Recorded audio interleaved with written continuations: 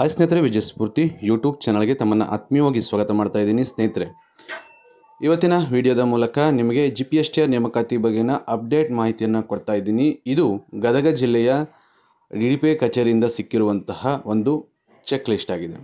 ಸ್ನೇಹಿತರೆ, ಉಪನಿರ್ದೇಶಕರ ಕಾರ್ಯಾಲಯ, ಶಾಲಾ ಶಿಕ್ಷಣ ಇಲಾಖೆ, ಗದಗ ಇವರು ಮೂಲ ದಾಖಲೆಗಳ ಸ್ವೀಕೃತಿಯ ಚೆಕ್ ಲಿಸ್ಟನ್ನು ಇಲ್ಲಿ ನಿಮಗೆ ತೋರಿಸ್ತಾ ಇರುವಂಥದ್ದು ಇದು ಅಭ್ಯರ್ಥಿ ಓರ್ವರು ಪಡೆದುಕೊಂಡಿರುವಂಥದ್ದು ಚೆಕ್ ಲಿಸ್ಟ್ ಅಂತ.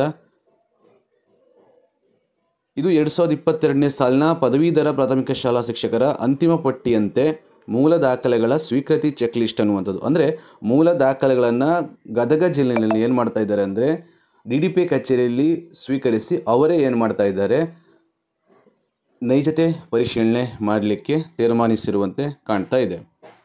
ಸೊ ಇವತ್ತು ಸಹ ಗದಗ ಜಿಲ್ಲೆಯಲ್ಲಿ ಒಂದಷ್ಟು ಅಭ್ಯರ್ಥಿಗಳಿಗೆ ಕರೆ ಬಂದಿರುವಂಥದ್ದು ಅದರಲ್ಲಿ ಪ್ರಮುಖವಾಗಿ ಗದಗ ಜಿಲ್ಲೆಯಲ್ಲಿ ಮಾತ್ರ ಈ ಪ್ರಕರಣ ನೀವು ಕಾಣ್ತಾ ಇದ್ದೀರಾ. ಯಾವ ಜಿಲ್ಲೆಯಿಂದಲೂ ಸಹ ಈ ರೀತಿಯ ಮಾಹಿತಿ ಸಿಗ್ತಾ ಇಲ್ಲ. ಇಲ್ಲಿ ಆ ಚೆಕ್ ಲಿಸ್ಟಲ್ಲಿ ಏನಿದೆ ಅಂತ ಕೇಳಿದರೆ, ಅಭ್ಯರ್ಥಿಯ ಹೆಸರು ಇದೆ, ನೋಂದಣಿ ಸಂಖ್ಯೆ, ವಿಷಯ, ಆಯ್ಕೆ, ಕ್ರಮ ಸಂಖ್ಯೆ ಇರುವಂಥದ್ದು ಜೊತೆಗೆ ಯಾವೆಲ್ಲ ದಾಖಲೆಗಳನ್ನ ಕೇಳಿದ್ದಾರೆ ಅಂತ ಕೇಳಿದರೆ ಆನ್ಲೈನ್ ಅರ್ಜಿಯ ಮುದ್ರಿತ ಪ್ರತಿಯ ಮೂಲ ಪ್ರತಿ ಎಸ್ ಎಸ್ ಎಲ್ ಸಿ ಅಂಕಪಟ್ಟಿ ಪಿ ಯು ಸಿ ಅಂಕಪಟ್ಟಿ, ಪದವಿಯ ಮೂರು ವರ್ಷದ ಆರು ಸೆಮಿಸ್ಟರ್ ಅಂಕಪಟ್ಟಿ, ನಿಂಬಲ್ಲಿ ವಾರ್ಷಿಕವಾಗಿ ಮೂರು ಇದ್ದರೆ ಮೂರು ಅಷ್ಟೇ.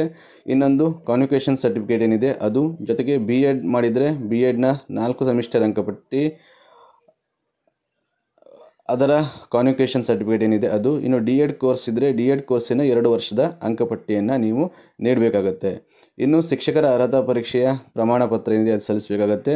ಅಭ್ಯರ್ಥಿಯ ಆಧಾರ್ ಕಾರ್ಡನ್ನು ಜೆರಾಕ್ಸ್ ಪ್ರತಿ ಸಲ್ಲಿಸಬೇಕಾಗುತ್ತೆ. ಮತ್ತು ನೀವು ಮೀಸಲಾತಿ ಕೋರಿರುವ ಪ್ರವರ್ಗ ದೃಢೀಕರಣದ ಪ್ರಮಾಣ ಪತ್ರ ಏನಿದೆ, ಸೊ ಅದನ್ನು ಸಹ ಕೇಳಿದ್ದಾರೆ. ಇನ್ನು ಗ್ರಾಮೀಣ ಅಭ್ಯರ್ಥಿ ವ್ಯಾಸಂಗ ಪ್ರಮಾಣ ಪತ್ರ ಮತ್ತು ಹೈದರಾಬಾದ್, ಕರ್ನಾಟಕ ಅಭ್ಯರ್ಥಿಗಳ ಮೀಸಲಾತಿಗೆ ಹೆಚ್ಚಿಗೆ ನಮೂದಿಸಿದರೆ ಅದರ ಪ್ರಮಾಣ ಪತ್ರ ಕನ್ನಡ ಮಾಧ್ಯಮ ವ್ಯಾಸಂಗ ದೃಢೀಕರಣ ಪ್ರಮಾಣ ಪತ್ರ ಮಾಜಿ ಸೈನಿಕ ಅಥವಾ ಅವರ ಅವಲಂಬಿತರ ದೃಢೀಕರಣ ಪ್ರಮಾಣ ಪತ್ರ ತೃತೀಯ ಲಿಂಗಿಗೆ ಸಂಬಂಧಪಟ್ಟಂತಹ ಪ್ರಮಾಣ ಪತ್ರ ಅಂಗವಿಕಲ ದೃಢೀಕರಣ ಪ್ರಮಾಣ ಪತ್ರ ಯೋಜನಾ ನಿರಾಶ್ರಿತ ಅಭ್ಯರ್ಥಿಗಳಿಗೆ ಪ್ರಾಧಿಕಾರದ ನೀಡಿದ ಅಧಿಕ್, ದೃಢೀಕೃತ ಪ್ರಮಾಣ ಪತ್ರ ಪ್ರಸ್ತುತ ಸೇವಾನಿರತ ಅಭ್ಯರ್ಥಿಗಳು ಸಂಬಂಧಿಸಿದ ನೇಮಕಾತಿ ಪ್ರಾಧಿಕಾರದಿಂದ ಪಡೆದಂತಹ ಅನುಮತಿ ಪತ್ರ, ಜೊತೆಗೆ ಇತ್ತೀಚಿನ ಎರಡು ಭಾವಚಿತ್ರಗಳು ಮತ್ತು ಇನ್ನಿತರ ಯಾವುದಾದರೂ ದಾಖಲೆಗಳನ್ನು ನೀವು ಅರ್ಜಿಯಲ್ಲಿ ಸಲ್ಲಿಸಿದರೆ ಆ ದಾಖಲೆಗಳನ್ನು ಸಹ ಇಲ್ಲಿ ಸಲ್ಲಿಸಬೇಕಾಗತ್ತೆ. ಜೊತೆಗೆ ಇಲ್ಲಿ ತಂಡದ ಮುಖ್ಯಸ್ಥರು ಕೆಳಗೆ ಸಹಿ ಮಾಡ್ತಾರೆ ನಂತರ ಅಭ್ಯರ್ಥಿ ಸಹಿ ಮಾಡಬೇಕು. ಜೊತೆಗೆ ಅಭ್ಯರ್ಥಿಯ ಮೊಬೈಲ್ ನಂಬರ್ ಸಹ ಇಲ್ಲಿ ದಾಖಲಿಸಬೇಕಾಗತ್ತೆ.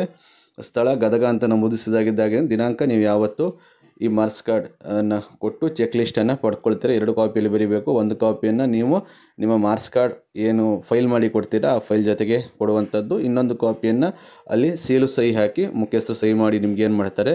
ನಿಮ್ಗೆ ಕೊಡ್ತಾರೆ. ಅದನ್ನು ನೀವು ಜೋಪಾನವಾಗಿ ಏನು ಮಾಡ್ಕೋಬೇಕು? ಇಟ್ಕೊಂಡು ಮುಂದೆ ನಿಮಗೆ ಮಾರ್ಕ್ಸ್ ಕಾರ್ಡನ್ನು ವಾಪಸ್ ತಗೊಳ್ಳಿಕ್ಕಾಗಿರ್ಬೋದು ಅಥವಾ ಇನ್ನಿತರ ಯಾವುದೇ ಸಂದರ್ಭದಲ್ಲೂ ಮೂಲ ದಾಖಲೆಗೆ ಸಂಬಂಧಪಟ್ಟಂತೆ ನೀವು ಈ ಚೆಕ್ ಲಿಸ್ಟ್ ಅನ್ನುವಂಥದ್ದು ನಿಮಗೆ ಬೇಕಾಗುತ್ತೆ. ಸೊ ಈ ಮಾಹಿತಿ, ಇದು ಗದಗ ಜಿಲ್ಲೆಯಲ್ಲಿರುವಂಥದ್ದು ಸ್ನೇಹಿತರೆ. ಮುಂದಿನ ಏನೇ ಅಪ್ಡೇಟ್ ಇದ್ದರೂ ಸಹ ನೀಡುವಂಥ ಪ್ರಯತ್ನ ಮಾಡ್ತೀನಿ. ಇಲ್ಲಿವರೆಗೂ ಯಾವುದೇ ಅಭ್ಯರ್ಥಿಗಳ ಮಾರ್ಕ್ಸ್ ಕಾರ್ಡನ್ನು ಪಡೆದುಕೊಂಡಿಲ್ಲ. ಬಟ್ ಏನಾಗಿದೆ ಅಂತ ಕೇಳಿದರೆ, ಇಲ್ಲಿ ಈ ಥರ ಚೆಕ್ ಲಿಸ್ಟನ್ನು ಕೊಟ್ಟಿರುವಂಥದ್ದು ಸೊ ಇನ್ನು ಗದಗ ಜಿಲ್ಲೆಯಲ್ಲಿ ಅವರು ಡಿ ಡಿ ಪಿ ಏನಿದ್ದಾರೆ, ಅವರು ಡಿಸೈಡ್ ಮಾಡಿರುವಂಥದ್ದು ಚೆಕ್ ಲಿಸ್ಟ್ ಮಾಡಿದ ಮೇಲೆ ಖಂಡಿತ ಏನು ಮಾಡ್ತಾರೆ? ಎಲ್ಲ ಮೂಲ ದಾಖಲೆಗಳನ್ನು ಪಡೆದುಕೊಳ್ತಾರೆ. ಪಡ್ಕೊಂಡು ಮುಂದೆ ಏನು ಕ್ರಮ ವಹಿಸಬೇಕು ಅನ್ನುವಂಥದ್ದನ್ನ ಡಿ ಡಿ ಪಿ ಅವರು ತೀರ್ಮಾನ ತಗೊಳ್ತಾರೆ. ಈಗ ಒರಿಜಿನಲ್ ಮಾರ್ಕ್ಸ್ ಕಾರ್ಡನ್ನು ತಗೊಳ್ತಾ ಇದ್ದಾರೆ. ಒರಿಜಿನಲ್ ಕಾರ್ಡ್ ತಗೊಂಡ ತಕ್ಷಣ ಅವರೇ ಮಾಡ್ತಾರೆ ಅನ್ನುವಂಥದ್ದು ಮತ್ತೇನಾದರೂ ಬದಲಾವಣೆ ಆದರೆ ಮತ್ತೆ ಕರೆದುಬಿಟ್ಟು ಮಾರ್ಕ್ಸ್ ಕಾರ್ಡ್ ಕೊಟ್ಬಿಟ್ಟು ನೀವೇ ಮಾಡಿಸ್ಕೊಳ್ಳಿ ಅಂತಲೂ ಸಹ ಹೇಳ್ಬೋದು, ಇಲ್ಲ ಅಂತಿಲ್ಲ.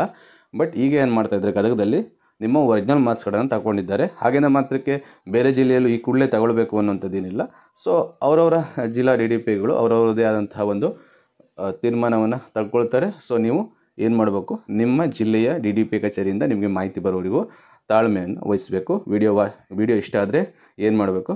ಲೈಕ್ ಮಾಡಬೇಕು. ವಿಡಿಯೋನ ವಾಚ್ ಮಾಡೋದಕ್ಕಾಗಿ ಧನ್ಯವಾದಗಳು. ಮುಂದಿನ ವಿಡಿಯೋನ ಮತ್ತೆ ನಿಮಗೆ ಮಾಡ್ತೀನಿ. ಅಲ್ಲಿವರೆಗೂ ನಮಸ್ಕಾರ.